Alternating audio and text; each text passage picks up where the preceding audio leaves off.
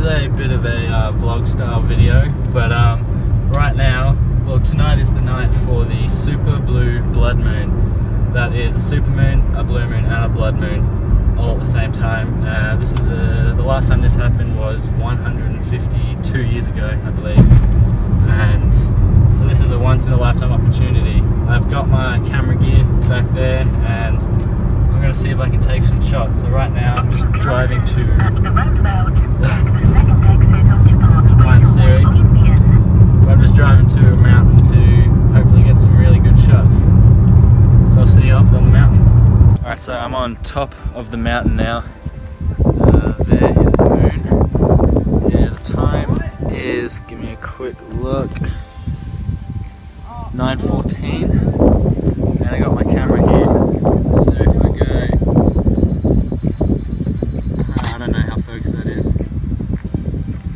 Okay, it looks quite uh, blown out on the camera here, um, on the camera I'm filming with, but that is. yeah, that's it.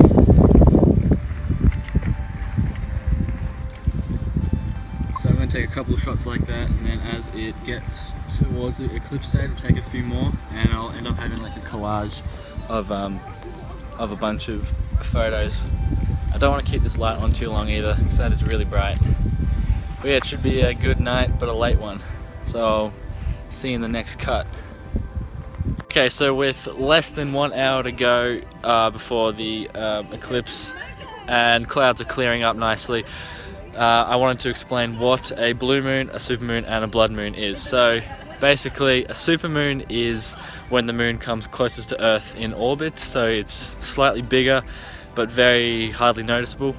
Um, a blue moon is not actually a blue moon, it is just two uh, full moons within one calendar month, and a what was the other one? A uh, blood moon is when is just an eclipse when the moon goes into the Earth's shadow um, on the other side uh, of the sun.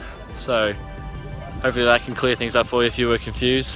And now let's just wait about 40 minutes until the eclipse will start. This is perfect. This is so good. oh my god! There's a nice patch.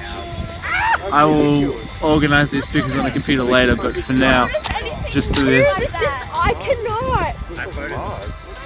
That This is is so good. that is awesome. I so hope I'm in focus. If I'm not, I'm gonna be Oh disappointed. my, You can slightly see the moon there.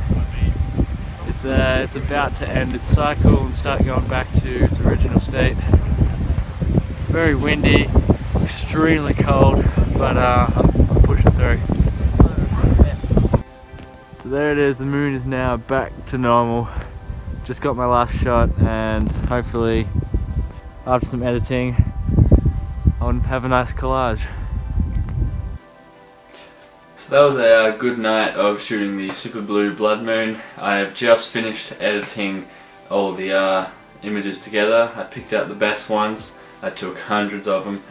But um, yeah, that was pretty good. And uh, just before I show you what it looks like, um, I said at the start of the video that it's a once in a lifetime opportunity for the Super Blue Blood Moon.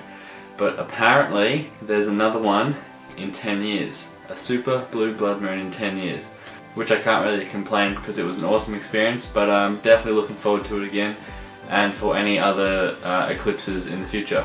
But anyway, I'm going to sign off and then I'll show you the final image. So if you do think I have earned it, then please consider subscribing.